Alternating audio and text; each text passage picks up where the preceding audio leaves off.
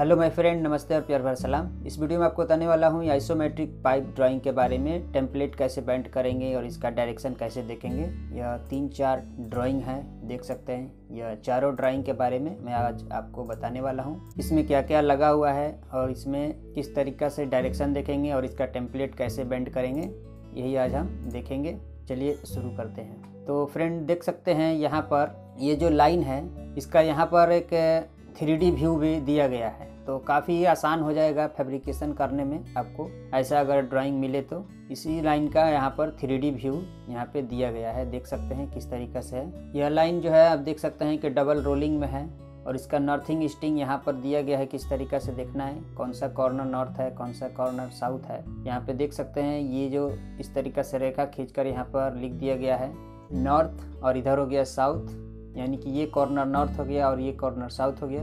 और इधर ये जो रेखा खींचा गया है, ये हो गया आपका वेस्ट और इधर हो गया ईस्ट इधर ये कॉर्नर ईस्ट हो गया। और ये जो बीच में लाइन जो खींचा गया है, ये अप और डाउन होता है अप डाउन देखने के लिए। जैसे ये लाइन है तो ये अप डाउन में गया है। ये सब जो लाइन है नॉर्थ साउथ वेस्ट ईस्ट में देखने के लिए, ऐसे इस तरीका से थ्री व्यू में देता है। तो फ्रेंड, इसमें सबसे पहले जानना ज़रूरी होता है कि यह कितना इंच का लाइन है, कौन सा मेटल है, कैसे हम जानेंगे। यह सबसे ज़्यादा ज़रूरी होता है आपको। तो इसको थोड़ा हम जूम कर लेते हैं। तो फ्रेंड, ये देख सकते हैं कि जैसे ये पाइप का नंबर यहाँ पे एक नंबर में मटेरियल लिस्ट में देखना है, यहाँ एक नंबर में कि ये कौन सा पाइप है, कितना इंच का पाइप है, वहाँ पे दिखा देगा आपको। यहाँ पे जो एल्बो लगा है, उसको हम तीन नंबर में देखेंगे। यहाँ पर कुछ लगा हुआ जो भी चीज़ है तो वहाँ ग्यारह नंबर में देखेंगे। यहाँ पर जो एल्बो लगा है, वो दो नंबर में देखेंगे। तो इसी तरीक़ा से हम यहाँ पर देखेंगे मटेरियल लिस्ट में, ये एक नंबर हो गया और यहाँ पे पाइप और टाइप लिखा गया है ई और वन लिखा गया है, और यहाँ पे डी एन हंड्रेड और पी एन टेन लिखा गया है। डाया हंड्रेड का मतलब हो गया चार इंच का लाइन। ये आपको ध्यान देना है। इसमें एम mm में लिखा गया है। पाइप का जो मिलीमीटर जो होता है एम mm में आईडी डायमेंशन होता है। आईडी और ओडी के बीचों बीच जो डायमेंशन होता है नेमिनल डाया तो वो इसमें साइज़ लिखा गया है पाइप का। D N hundred. और यहाँ पे जो देख रहे हैं डी आई एन और यहाँ पे कोड लिखा गया है। तो यह कोड जो है आप गूगल में सर्च करेंगे तो ये कौन सा मेटल है आपको पता चल जाएगा। यह जो कोड आपको बिल्कुल आसानी से मिल जाएगा गूगल में, सर्च मारेंगे तो।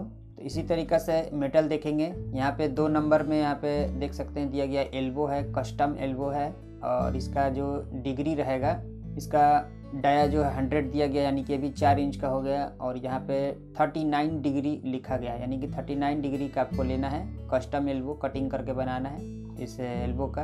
उसी तरीके से यहाँ तीन नंबर में भी एल्बो दिया गया है भी कस्टम एल्बो है, यानी कि आपको अलग डिग्री में कटिंग करना है। तो ये साठ डिग्री में एल्बो रहेगा। यहाँ चार नंबर में भी एक एल्बो है, नाइन्टी डिग्री का। तो ये जो है आपको, वो भी चार इंच का ही है हंड्रेड लिखा गया है। और यहाँ पे देख सकते हैं नाइन्टी डिग्री लिखा गया है। उसी तरीके से यहाँ पे सब मटेरियल का लिस्ट नंबर देख लेंगे। यहाँ पे देख सकते हैं जो मैं आपको यहाँ पे ग्यारह नंबर यहाँ पे जो दिखा है, ये वाला। गाइडेड पाइप सपोर्ट यहाँ पे लिखा गया, यानी कि ये पाइप सपोर्ट का है। और यहाँ पे इसका नंबर दिया गया है, कुछ कोड है। इसका एक सपोर्ट का ड्राइंग आएगा, उसमें ये नंबर चेक करेंगे कौन सा सपोर्ट है, क्या है, वो मिल जाएगा। और इसका डायमेंशन यहाँ पे देख सकते हैं डी एन हंड्रेड यानी कि चार इंच पाइप के लिए सपोर्ट लगाना है और ये सपोर्ट का ये। और इसमें जो ये डॉट डॉट जो दिया गया है यह पाइप में, देख सकते हैं। ये लाइन जो दिया गया है और लाइन के अगल बगल ये डॉट डॉट जो दिया गया है, उसके बारे में भी जान लेते हैं। तो यहाँ पे देख सकते हैं, ट्रेसेड एंड इंसुलेशन पाइप कुछ अलग तरीके का डॉट रहेगा तो ऐसा रहेगा। और इंसुलेटेड पाइप जो रहेगा, इस तरीका से डॉट डॉट रहेगा बाहर बार जैसे इसमें दिया गया है, इसमें इंसुलेशन रहेगा। और यहाँ पे ये जो दे रहा है, सॉफ्ट वेल्ड, यानी कि सॉफ्ट में आपको वेल्डिंग कर देना है तो वहाँ पे बट वेल्ड इस तरीका से दिखाएगा। और फ़ील्ड वेल्ड में ऐसे कट का निशान मारा रहेगा तो उसमें शॉप में वेल्डिंग नहीं मारना है। जब इरेक्शन किया जाएगा लाइन जहाँ पे, वहाँ पर उस ज्वाइंट को किया जाएगा। तो यहाँ पे किसी ज्वाइंट पर आप देखेंगे तो कट का निशान दिया हुआ रहेगा। तो फ्रेंड इसमें जो है एक भी कहीं पे भी कट नहीं दिया गया है। इसमें कहीं भी फ़ील्ड वेल्ड नहीं रखना है।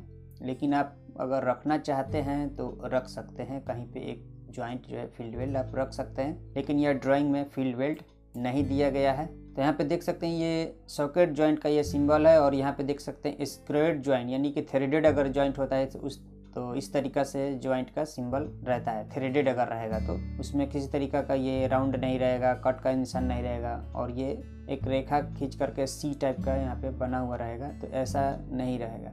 बिल्कुल सीधा लाइन है तो वो थ्रेडेड है, यानी कि स्क्रोइड जैसे लिखा गया है। उसी तरीके से यहाँ पे देखेंगे। और यहाँ पे ये जो सिंबल देख रहे हैं, ये एल्बो का हो गया। और यहाँ पे 12 नंबर में देख लेंगे कि क्या चीज़ दे रहा है। सिर्फ़ कट का निशान दिया गया है। तो यहाँ पे देख सकते हैं 12 नंबर में पाइप सपोर्ट है कुछ। इस तरीका का कोई नंबर है, आप देख लेंगे। पाइप सपोर्ट डिटेल में जा करके इसका एक आता है। पाइप सपोर्ट डिटेल ड्राइंग, उसमें देखेंगे किस तरीका का सपोर्ट है। तो यहाँ पे एक बारह नंबर में सपोर्ट आ रहा है। और ये एक नंबर जो लिखा है तो एक नंबर में हम पाइप का देखेंगे। कितना शेड्यूल है, कौन सा मेटल है। और यहाँ पे एल्बो लगा हुआ है और चार नंबर में एल्बो देखेंगे कितना डिग्री का एल्बो है यहाँ पर। उसके बाद यहाँ पे एक सोकोलेट या बेल्डोलेट लगा हुआ है और वहाँ पे एक फ्लैंच वगैरह लगा करके वाल वगैरह लग रहा है। और यहाँ पे एक इसेंट्रिक रिड्यूसर यहाँ पे लग रहा है, देख सकते हैं। इसका जो फ्लैट पोजीशन जो रहता है, यहाँ पे डाउन साइड में दिया गया है। इसको हम पाँच नंबर में देखेंगे और उसके बाद फ्लैंच है और ये फ्लैंच जो है किस तरीके का फ्लैंच है, वो भी देख लेंगे। ये जो है W N R F flange नहीं है, जो एक आता है लेफ़्ट ज्वाइंट फ्लैंच आता है और यहाँ पे एक वाल्व लग रहा है, जिसका दस नंबर में देखेंगे, यहाँ पे कंट्रोल वाल्व का सिंबल यहाँ पे दे रहा है। देख सकते हैं, इस तरीका से एक कैप के तरह रहेगा लाइन खींच करके ऊपर में तो ये कंट्रोल वाल्व हो जाता है। और उसके बाद यहाँ पर वही फ्लैंच है और रेड्यूसर है और ये पाइप यहाँ पे आने के बाद यहाँ पे ज्वाइंट दिखा रहा है। ये दोनों फ्लैंच का मटेरियल लिस्ट यहाँ पे जो नंबर दिया गया है मटेरियल लिस्ट नंबर नौ नंबर में हम देखेंगे किस तरीका का फ्लैंच है यहाँ पे उसका। देख सकते हैं लिखा हुआ है collar with weld loose flange रहेगा, यानी कि जो, उसका जो फ्लैन जो है लूज रहेगा और आगे का जो रेस फेस रहेगा, उसके साथ पाइप के साथ जुड़ा हुआ रहता है और इसमें पाइप एक रहेगा, सौ डेढ़ सौ एम का और इसमें वेल्डिंग होता है और उसका जो फ्लैंच रहता है वो लूज रहता है। तो उस तरीका का फ्लैंच लगेगा। आप गूगल पे सर्च मारेंगे तो आपको ये मिल जाएगा। ये जो नौ नंबर है, इसमें जो ये कोड लिखा गया है, यह कोड अगर आप गूगल में डालेंगे तो आपको जो है इसका रिज़ल्ट आपको मिल जाएगा। डी आई एन और ये जो कोड डालेंगे तो आपको ये मिल जाएगा। किस तरीका का फ्लैंच इसमें लग रहा है। तो फ्रेंड, यहाँ पे जो 10 नंबर यहाँ पे दिया गया है, वाल्व का सिंबल देखने के लिए, यहाँ पर देख लेंगे। ये देख सकते हैं 10 नंबर में। Knife gate valve pneumatic system, यानी कि एयर से क्लोज होगा और खुलेगा। क्लोज ओपन का सिस्टम जो रहेगा, एयर सिस्टम रहेगा, न्यूमेटिक सिस्टम रहेगा। इस तरीका से मटेरियल देखेंगे। जैसे मैं आपको बताया सबका मटेरियल देखने के लिए कैसे देखेंगे तो तो फ्रेंड मैं ये चारों का आपको टेम्पलेट बैंड करके दिखा दे रहा हूँ, किस तरीके से टेम्पलेट बैंड करेंगे। तो इस तरीके से अपने सामने हमेशा नॉर्थ मानेंगे और इधर साउथ और इधर वेस्ट और इधर ईस्ट हो गया। तो फ्रेंड, यहाँ पे देख सकते हैं कि ये जो लाइन जो जा रहा है, यहाँ पे इसका डायरेक्शन दे रहा है ईस्ट से डाउन। तो इस तरीका से हम ये टेम्पलेट लेंगे और ये लाइन दे रहा है ईस्ट से, इस तरीका से डाउन करना है। इस तरीका से ईस्ट में जाके डाउन रहेगा। यानी कि यहाँ पे जो एल्बो इस तरीका से बन रहा है अप के तरफ़ तो यहाँ पे 60 डिग्री का ऐसा एल्बो रहेगा और ये इस तरीका से डाउन में रहेगा। देख सकते हैं इस तरीका से डाउन में रहेगा।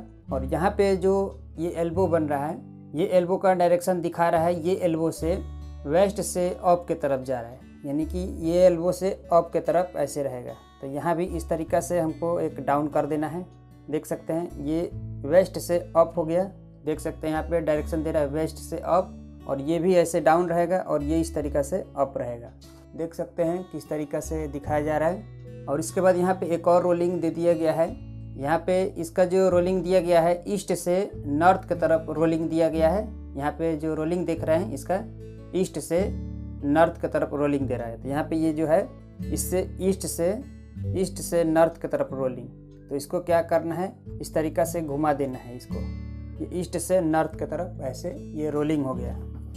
देख सकते हैं, ये ईस्ट से ये नॉर्थ की तरफ़ ये रोलिंग हो गया।